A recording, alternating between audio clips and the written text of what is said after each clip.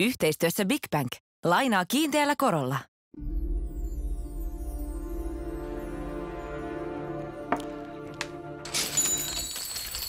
Tämä on 23 minuuttia ohjelma, joka ottaa itseensä vakavasti kuin heinäkuun sadekuurot ennustava sammakko-professori. Konnaan nuolaisemassa Heikelä ja Koskela. Se saadaan raketakin ties tänään. Katsotaan miten käy. Meidän köyhien päämenoksi rikkailla tuntuu olevan koko ajan kaikenlaista kotkotusta, eikä vähiten tulevaisuudessa. Nyt ennustetaan nimittäin, että on syntymässä uusi ultrasikarikkaiden porsasteluluokka, e, jossa sitten keskiluokka, no ei pääse edes porstua pidemmälle. Puhumme tästä tänään. Kiitos kaikille, jotka olette tilanneet tämän kanavan. Jos et ole tilannut, tilaa heti välittömästi nyt aikailematta. Se on arvostettavaa puuhaa, kiitos siitä. Niin ja se auttaa meitä ja teitä.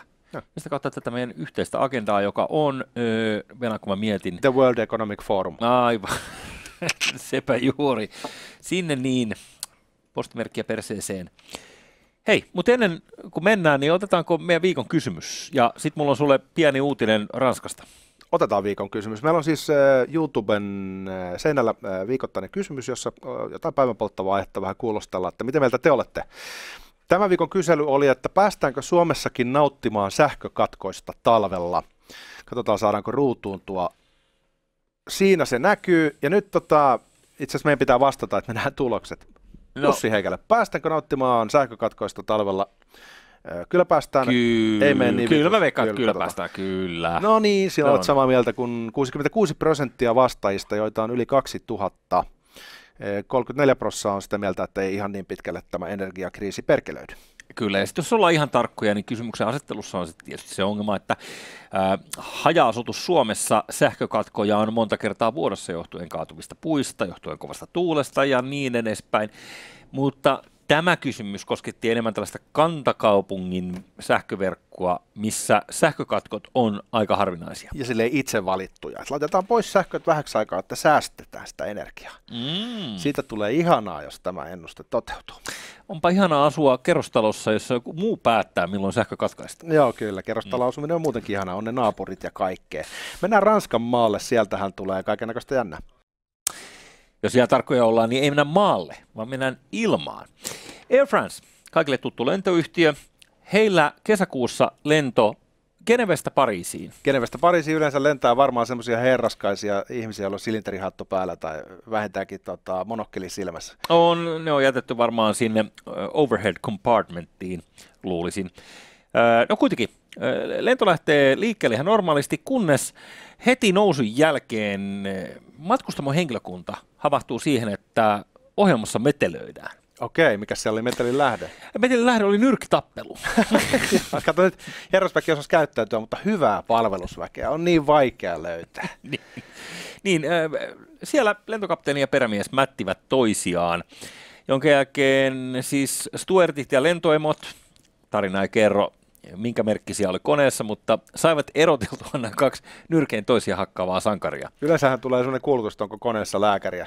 Jos kaikki lääkärit pienenee, ei halua ottaa vastuuta tilanteesta. Niin tota, tässä voisi tulla sellainen kuulutus, että onko koneessa yhtään pilottia, että täällä on kaksi tyrmättyä. Ja kyllä. Joskus nyrkkeiluottelu päättyy sillä tavalla, että molemmat makaa kanveissa onko koneessa yhtään pilottia tyyppinen kuulutus sai, saattaisi aiheuttaa hieman pakokauhua? Joo, siellä on joku, että mulla on pilottikello kyllä, tämä on tosi hieno. Sveitsiläinen kello, kun Genevestä tulla. Mulla on pilottilasit ja pilottirotsia. Luet jos mitä pilottia. Mutta hei, äm, niin, no äijähän ei voi laittaa nippuun, koska ne joutuu olemaan puikoissa. Joo. No. Totta kai kaikkihan me tiedetään, että tuollaisen modernin lentokoneen lentäminen on yhtä helppoa kuin uunin päälle laittaminen, siis tietenkin. Siis, tämä on kauhean esimerkki työpaikkakiusaamisesta, mitä mä ikinä kuullut. Oh. Siis selvähän on, että tässä on uhria ja sitten se toinen, joka on jostain syystä päättänyt alkaa hakkaamaan. Ah, niin. Toinen on vaan puolustautunut. Mä oon ehkä sen perämiehen puolella tässä, tietämättä asiasta hölkäsen perään. Tiedätkö, mikä mun arvaus on?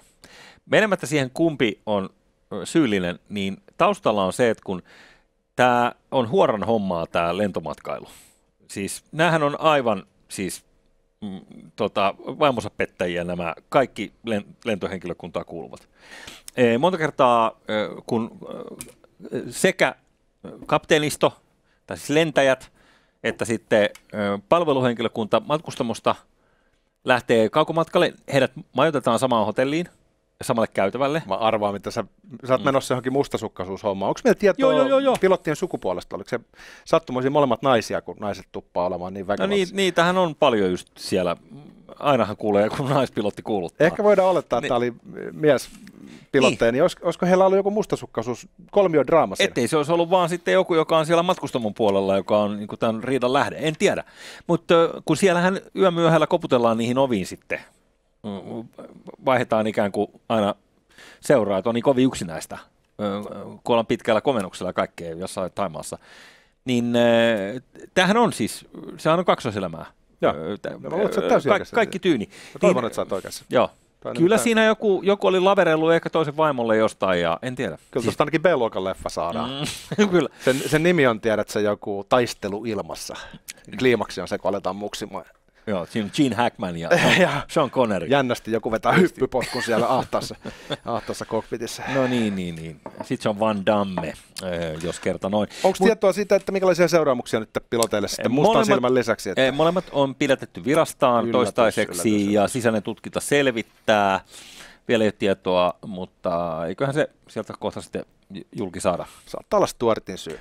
Mennään keskustelemaan eriarvoisuudesta, joka kasvaa kohistin sitä myöten, kun rikkaat on rikastunut tässä korona-aikana ja muu jengi on vähän niin kuin polkenut paikallaan. Tai Joo. Nyt mä oon Arto siis oikeasti ihan mehuissaan, koska kerrankin puhutaan gurmeesta ja, ja, ja tota, niin kuin, luksuksesta. Niin, luksuksesta ja fine dine safkasta, Mikä josta ihanaa. No, sä oot siitä kannuksessa ansainnut ja aina kun mä oon sun kanssa jossain radalla olkoon kuinka viispainen baari tahansa, niin mä toivon aina, että sä tilaat jotain sellaista viiniä, mistä sä kerrot, että mitä se on. Joo, ja yleensä koska... se on pontikkaa ja sit sä oot surullinen koko loppuilla. Tätä, mutta mennään hotellimaailmaan ihan ensimmäiseksi. Okei, okay, Nimittäin Aman ketju on semmoinen, jolla on 35 about luksusresorttia eri puolilla maailmaa, niin he on nyt tehnyt tämmöisen uuden laajennuksen, että he on lähtenyt New Yorkiin ja tehnyt tämmöisiä kaupunkihotelleja. Niin tämä on ensimmäinen New Yorkissa, erittäin fancy pansy hotelli. Onpa hieno kaupungin on, kattujen läheisyydessä. Billionaires Row ihan kupeessa siinä Fifth Avenue Trump tornin vieressä melkeinpä. Aha. Ja hyvän näköinen huone, tota, todella, todella upea näköinen. On aika hyvän näköinen, kyllä. Mä rupesin vaan miettimään, onko se Fifth Avenue se tosiaan se West West Side. Fifth Avenue on se niin pitkittäin menevä katu ja sitten se Billionaires Row on niin poikittain. Joo. Mutta ei nyt jäädä siihen, ei vaan siihen. Joo, jäädään enemmänkin siihen, että maistusko sulle yö tässä hotellissa?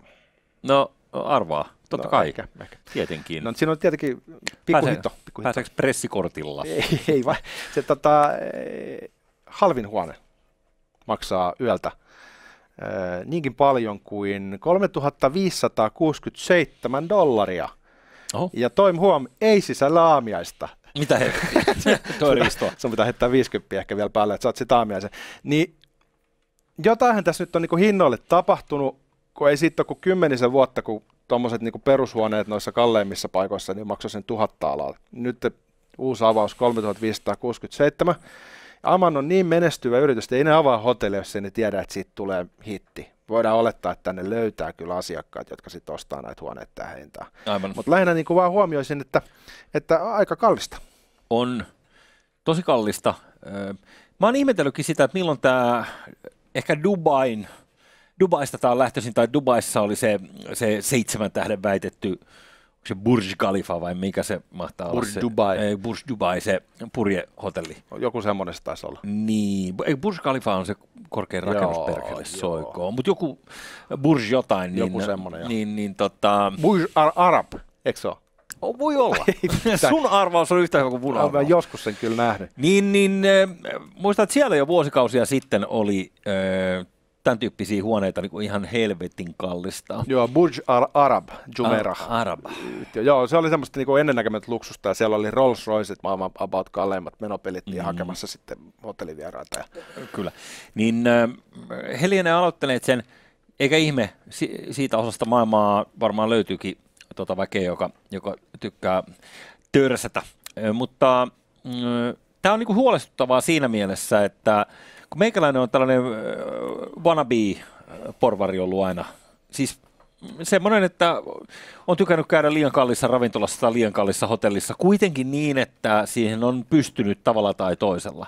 Niin nyt alkaa olemaan vähän sellainen, että ihan matkapäiväraha ei taida riittää tähän kolmeen puolen kilon. Niin nyt ikäviä uutisia tavismiljonääreille, joilla on nimenomaan niin kuin ehkä tiedätkö, yksi miljoona euroa tai dollaria sijoitussalkussa ja sen lisäksi keskustakämppä. Rupeaa tiedät, että se ole liian kallista Joo. heille. Mutta ennen kuin mennään tähän, otetaan kaupallinen viesti. Joo, ja sopipa muuten hyvin juuri tähän tilanteeseen. Uusi yhteistyökumppanimme Big Bank. Isosta nimestään huolimatta se on pienen ihmisen pankki. Big Bankin asiakkaana et huku pykalaviidakkoon tai kompastu korkoihin. Sen sijaan tiedät, mitä saat. Raha-asioiden ei tarvitse olla vaikeita tai monimutkaisia, siksi Big Bang lisätietoa nettisivulta. Linkki löytyy tuosta YouTuben kommenttikentän yläpuolelta eli alta. Sitten Gastronomian maailma. Tota, eh, Kaliforniahan on aika rikas osavaltio, tosi tosi rikas. Siis tyyliin maailman neljänneksi rikkain, jos se olisi itsenäinen valtio. Jotain tuommoista joo, ja se nyt on sitten näkynyt siinä, kun Michelin Guide, eli tämä ö, rengasopas, joka rankkaa ravintoloita, niin levisi sinne markkinoille, niin ootko sattunut katsomaan, että kuinka paljon heillä on siellä tähtiä? Kuinka paljon Kaliforniassa on kolmen tähden ravintoloita vai ylipäänsä siis niin ylipäätään tä- Michelin ravintoloita. Jos otetaan vertailuluvuksi Suomi, jossa on taitaa olla kuusi ykköstä ja nyt sitten yksi kahden tähden, vaikka Joo, palase. Kyllä mä, luul, kyllä mä luulen, että tota, Kaliforniassa niitä on aika paljon. Oikein? Joo. Mm, mä veikkaisin, että, että tota, niitä on varmaan Kaliforniassa eniten heti tyyliin Manner Ranskan jälkeen. Get to the point, veikkaus. No veikkaus on, jos... Mä sanoin, että siellä on 600 Michelin ravintolaa, joista sitten kolme tähteä on Ei aivan, 15. mutta verrattuna tuohon Suomen seitsemään äh, palkittuun ravintolaan, niin tota, siellä on 66 yhden tähden ravintolaa, Aa. kahden tähden ravintoloita on 14 ja kolmen tähden ravintoloita seitsemän kappaletta. No niin. Eli tota, aikamoinen skene, mutta sielläkin on korona nyt sitten iskenyt aika lujaa tähän toimialaan. Ö, työvoimapula on merkittävä. Mm. Ja se on aiheuttamassa nyt sellaisia muutoksia koko gastronomian saralle, jotka on aika mielenkiintoisia ehkä heijastuu jollain tavalla tähän koko eriarvoistumiskeskusteluun, missä me pyörittiin jo hetken aikaa tuossa. No niin, anna tulla madon lukuja. David Kinch on siis pitänyt Manreessa nimistä äh, ravintolaa Kaliforniassa ja tota, 20 vuoden jälkeen hän aikoo laittaa lapun luukulle ja toteaa, että hän ei niin kuin, halua olla laskevassa trendissä messissä, hän tekee jotain ihan muuta. Mm. Ja äh, ei ole vielä selville, että mitä Kinch seuraavaksi tekee, mutta äh, tässä tota, Fine Dining Loversin jutussa nostetaan esiin äh, esimerkiksi tällainen trendi, joka on yleistynyt aika monessa paikassa, missä tota, on äh, supereksklusiivinen äh, pieni ravintola. Eli ei enää 40 paikkaisia ravintoloita, missä on yhtä paljon tarjoilijoita ja henkilökuntaa ja kokkeja kuin asiakkaita, vaan sellainen, missä on yksi kokki ja sitten sulla on vaikka kuusi asiakasta. Tämmöinen niin kuin japanilainen omakase, Omakase. omakase niin kuin tällainen tota, staili, mikä on Eli- hyvin intiimi, paikkoja on erittäin vähän ja hinta on tietenkin tähtitieteellisen korkea. Joo, sen verran nyt, että ö, nekin pysyy perässä, jotka ei dinea ole harrastaneet, niin ää, sehän on esimerkiksi tämä mainittu palase. Se on helvetin kallista hommaa, jos siellä juo alkusampikset ja, ja ottaa päälle vähän sitten konjamiinia tai jotain muuta ruskeita viinaa, niin ää, helposti saadaan päätä kohden sellainen viiden huntin lasku. Se on pelkkä menu taitaa olla 210 euroa, mutta sitten kun sinä ja minä sinne mennään, niin kyllä siinä sitten vähän nautitaan myös tota, aperitiiviä ja digestiiviä, saatetaan tällaisia viinejä ruoankin kanssa. Just näin. Helpostihan Ja- siinä ja- poksahtaa lompakon lisäksi maksa, siis toi 500 on varmaan kyllä sellainen, minkä sinne niin kuin helposti tuhoutuu, ihan vaan Kyllä. vetää sen koko kokemuksen läpi. Ja tämähän on ollut vuosikausia jo tietenkin keskituloisen ihmisen ö, tavoittamattomissa, että palasessa esimerkiksi niin ö, asiakkaat ovat yleensä lobbaajia, ö, he, he, lobattavia poliitikkoja tai muita virkamiehiä, yritysjohtajia, Joo. you name it, mutta hyvin vähässä on se, että sinne tulisi niin kuin On siellä maksukykyisiä kansalaisia, jotka ei ole, tota, siis vetää oman rahalla, sitäkin porukkaa on, mutta totta kai on Helsingistä aika vähän. hammaslääkäriä ja sellaista. Niin, kyllä, joo. just näin. Mutta se jotenkin tavallaan, niin se on niin ollut se leveli, millä ollaan vedetty, mutta nyt näissä supereksklusiivisissa high-end-paikoissa sitten Jenkeissä, niin sitten se hinta, menu saattaa lähteä 600 alasta ja helposti päästään ää, juomien kanssa varmaan sinne tonniin. Jos tämä siirrettäisiin Suomen ympäristöön, missä on kulurakenne pikkasen erilainen, niin varmaan, tiedätkö, voisi uskaltaa sanoa, että semmoisia tonni 500 illallisia per nuppi Kyllä. olisi ehkä tämä niinku, tää skene, joka on nyt vähän niinku tulossa muotiin. Ja se on ollut jotenkin kirjoittamaton sääntö ehkä tähän mennessä, että ruuasta sä et voi pyytää mitään mielisairasta hintaa. Se on helpompi perustella joku eksklusiivinen vi- viinipullo, että se maksaa tonnin. Mutta tähän mennessä niin se, sitä ei ole vaan hyväksytty tai katsottu hyvältä, jos ravintola yrittää saada näistä safkoista jotain ihan niin kuin tähtitieteellistä. Nyt vaikuttaa siltä, että se oikea yleisö on alkanut muovautumaan, kiitos eriarvoisuuden ja vaurauden kertymisen sinne pyramidin huipulle. No niin. Nimittäin äh, tuo Aman hotelli tuossa, mikä alussa käsiteltiin, niin on vain yksi oire tästä samasta ilmiöstä. Ja mä väitän, että tämä on nyt samanlainen oire tästä eriarvoistumisesta ja taloudellisesta kumulaatiosta, joka johtaa siihen, että on hyvin harvalukuinen joukko, jotka pystyy maksamaan illallisesta melkein mitä vaan. Niin. Onko se sama jengi, joka lentää yksityissuihkarella Davosiin ja sitten kertoo muille, että by the way, lentäminen, niin se on iso no-no. Todennäköisesti. Me keräännyttiin Davosiin miettimään, että miten kaikki muut voisi tehdä jotain muuta. Omaka se trendi on näkynyt Helsingissäkin, muun muassa Sanchomme, se Tomi Björki-juusravintola, niin heillä on semmoinen kuuden paikan tiski siinä. Onko Jörki itse leimoineen siellä? Mä näin Jörkin siellä itse, kun kävin kurkkaamassa. En syönyt tätä omakasea, mutta tota, hän oli ruskettuneen näköinen ja moikkaili sieltä tiskin takaa, mutta äh, mä luulen, että hän on nyt hankkimassa lisärusketusta Australiassa. Mutta se on 250 per naama se pitää maksaa etukäteen, että sä et voi tehdä ohareita. Ja, ja tota, niin tämä on niin kuin Helsingin mittakaavassa sama, mutta edelleen 250 on aika vähän verrattuna nyt siihen, mihin suuntaan toi Kalifornian skene ja toi New Yorkin skene on niin kuin menossa. Tämä kuulostaa nyt siltä, että sun tarvii pelata monopolia sillä pankkirin kassalla, eli sillä, joka hoitaa ikään kuin talon rahoja. Muuten tämä ei ole mahdollista. Ja nyt tykätään tietenkin tiedätkö, kaikesta niin kuin, hyvästä elämästä ja näin edelleen. Mutta niin kuin tämä, meidän keskustelu tänään oikeastaan se, että, että vaikuttaa siltä, että osa kulttuurista on siirtymässä kullalla vuorattuihin kabinetteihin. Ja tällä on tietenkin implikaatioita koko kulttuurin äh, saralla. Että mitä, se, mitä seuraamuksia on siitä, kun varallisuuserot alkaa muistuttaa enemmän 1800-luvun lopun meininkiä kuin 1980-luvun meininkiä?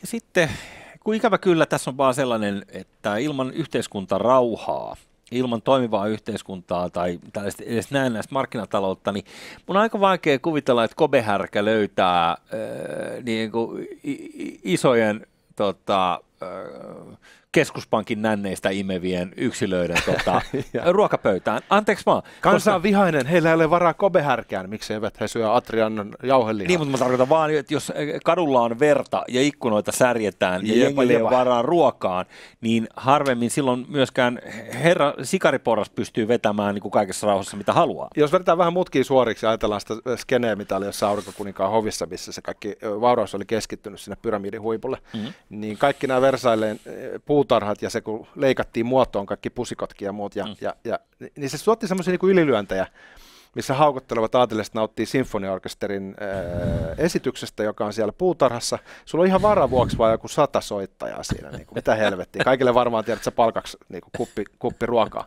Tiedätkö, siis tämä maailma, missä niin kuin aateliston ylilyönnit, ar, mm. aristokratian tavallaan niin kuin ne omituisimmat piirteet, niin ne on niin kuin vähän niin kuin palaamassa tähän länsimaalaiseen kulttuuriin, mm-hmm. mikäli pian alkava talous kurimus ei itse asiassa leikkaa ylimmän prosentin vauraudesta merkittävä osa pois, mikä on tietenkin mahdollista.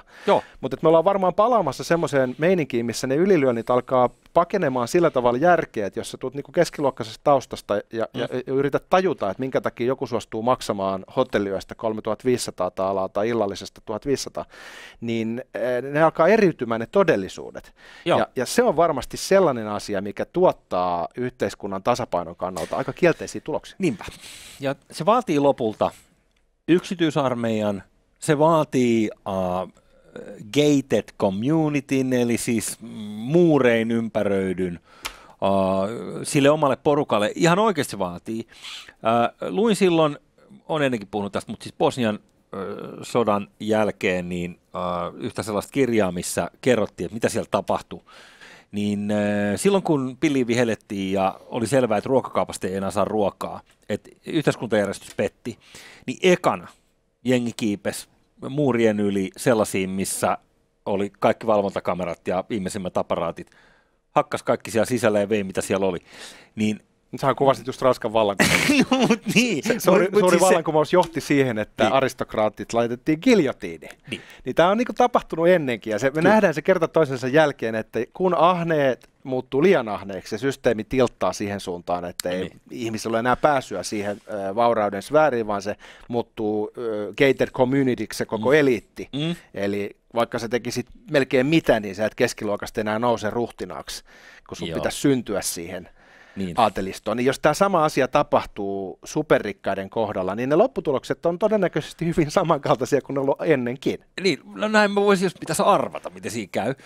Nyt niin, äh, meanwhile, tämä on ihan sairasta, mutta et, se miten mun, siis mutkat suoriksi, mun ajatus kaikesta, mä oon ennenkin tätä puhunut, mutta, mutta kaiken keskiössä ja ongelmana on tämä raha, jonka arvon pieni piiri päättää. Eli käytännössä se lopulta juontaa tuonne keskuspankkiin ja ö, se luottaa, tai se juontaa siihen korruptioon, mikä liittyy siihen, että keskuspankki säätelee rahan hintaa ja sitten sulla on se osa porukasta, jotka pystyy ö, paisuttamaan pörssissä hintoja ja sitä Ja historiallisesti ehkä voitaisiin laittaa jonnekin Reaganin aikoihin se, milloin tämä kehitys alkoi. Jolloin ruvettiin republikaanien piirissä puhumaan tästä trickle-down-efektistä, että vaikka leikataankin verot pois nimenomaan superrikkailta, niin kato, sieltä sitten satelee niitä leivamurusia No no, niin, niin, niin, niin, niin. Sitten se on niin kuin mun ymmärtääkseni osoitettu, että ei toimi sillä tavalla. Valitettavasti se oli äh, Niin. epäkesko oikeutus äh, rikkaiden rikastumiselle. Niin. Mutta siitä eteenpäin kun mennään, niin vaikka siinä on tietynlaista vaihtelua suuntaan jos toiseen, niin, niin on alkanut kasautumaan ne pääomat.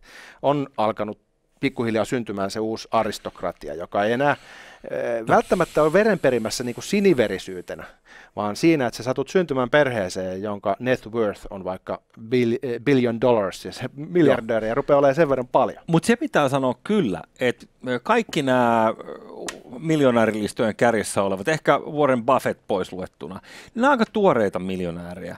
Siis äh, otat firmat, vaikka Apple, äh, Amazon, niin Amazon, Facebook, äh, mitä, mitä vielä Google. Nämä on kaikki niin kuin tosi reilu 20 vuotta vanhoja yrityksiä. Apple on vähän vanhempi, mutta se oli konkurssikypsä ennen kuin se lähti Erittäin hyvä havainto. ja- Niin mä tarkoitan vaan sitä, että, että noin varallisuuserät on tässä viimeisen 25 vuoden aikana heittänyt aivan häränpyllyyn. Ja mä oon ihan varma, että seuraavan 25 vuoden aikana niin nähdään ihan kokonaan toisenlaisia raharikkaita kuin mitkä nyt on listojen kärjessä. Nämä on kaikki tämmöisiä vähän niin kuin self-made-tyyppejä, vaikka jotkut Googlen mm. perustajat. Ne muistaa vielä, miltä tuntui vetää nuudeleita opiskelijaboksissa Juu. silloin, kun ei ollut rahaa.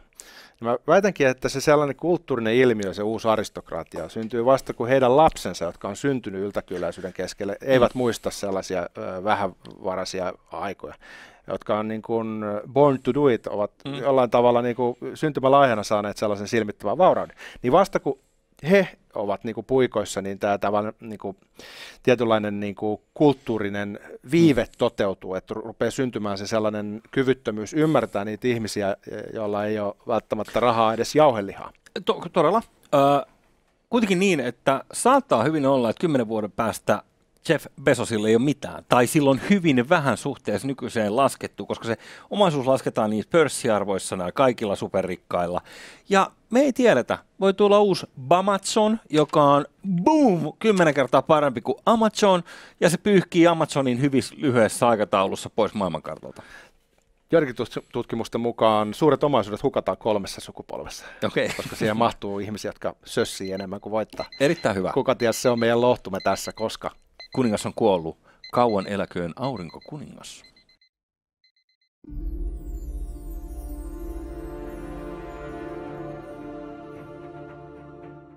Yhteistyössä Big Bank. Lainaa kiinteällä korolla.